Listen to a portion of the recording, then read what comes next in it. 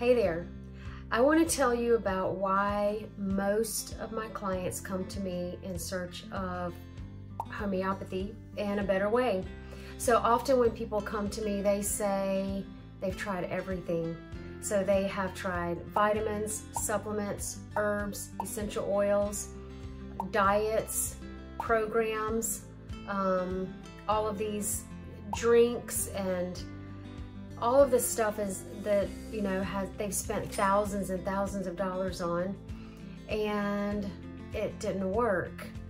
So most people that come to me have already tried everything. They're like you're my last hope. There's nothing else. So i no pressure right? There's no pressure on me to be if i'm their last hope.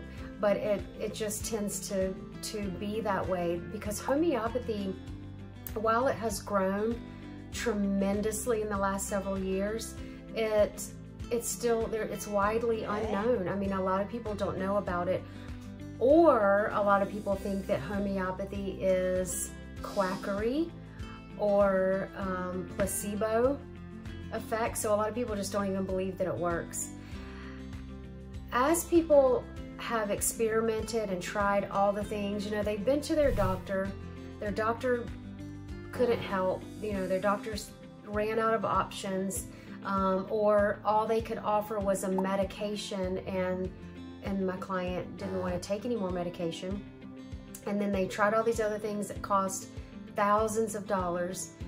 Then they find homeopathy and the results often are completely amazing. Um, I have seen eczema uprooted after being suppressed for years with steroidal creams. Um, and I mean, allergies, hay fever, mental emotional conditions. I've seen people come off of their bipolar medications. I've seen people come off of their antidepressants and anti-anxiety medications. Um, you know, chronic UTIs, heartburn, you name it. Every condition can be addressed with homeopathy and every person can be helped with homeopathy to some degree. So to what degree each person can be helped depends on the person, how old they are, and how long they've been suppressing this condition. So every time we suppress a condition, we're pushing the pathology deeper into the to the um, system. Therefore, the body has to express it in some other way. Hey there, I am so excited to let you know that my Introduction to Homeopathy course is available right now for free. You can go get an instant download and learn the basics of homeopathy, what you need to get started, how to purchase remedies, where to purchase remedies, some protocols to help you right away, and the do's and don'ts around homeopathy, and just a lot of definitions. Really, a, it'll give you a good firm foundation for what homeopathy is and what it is not. I hope you'll join me. Then it looks like a new condition, so you go to your doctor and the doctor says, oh, well now you have uh, high blood pressure. You know, you've been on this medicine. So it may not necessarily be a side effect of the, the first medicine. Let me, let me lay out a timeline for you. Let's say you have chronic strep throat or ear infections as a child. You go to the doctor, you get an antibiotic every time.